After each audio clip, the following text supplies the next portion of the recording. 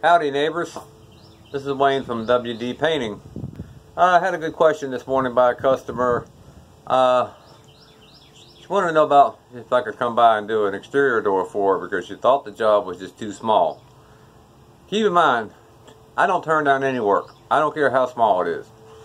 You know, I'm all about helping the community. I'm all about helping my neighbors. You know, I'm reasonable.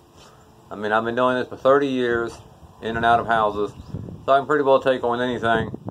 And as you would see with this weather we're having here lately, you know, I've got two paint jobs lined up, but with this kind of weather, I can't take a risk on it right now, for various reasons. But if you got anything around the house, you know, small things, you know, exterior doors, you know, bookshelves, mini blinds, ceiling fans, you know, anything.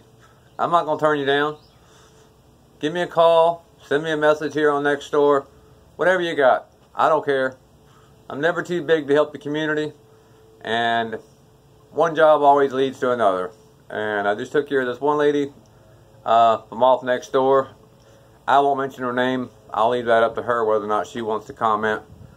Uh, she seemed very happy, so that's what matters to me. Uh, got the door, uh, old door out, new door in all the trim back up. I was even able to save her outside painted uh, trim that was already there. So it still looks really good. She needed it for her home inspector. So we got that taken care of. So again, this is Wayne from uh, WD Painting, formerly uh, LNW Services. Uh, just reaching out to the community. You know, I've got next three days clear.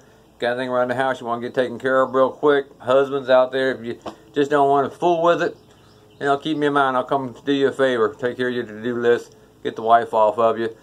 And wise, if you got things you need done and the husband's too busy, again, I'm available. So call me. God bless you. And I know I'll see you on the next project.